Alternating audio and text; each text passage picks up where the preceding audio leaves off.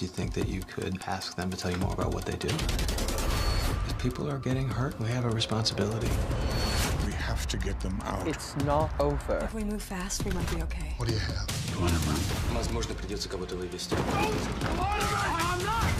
I'm so sorry, Mom. We're in trouble.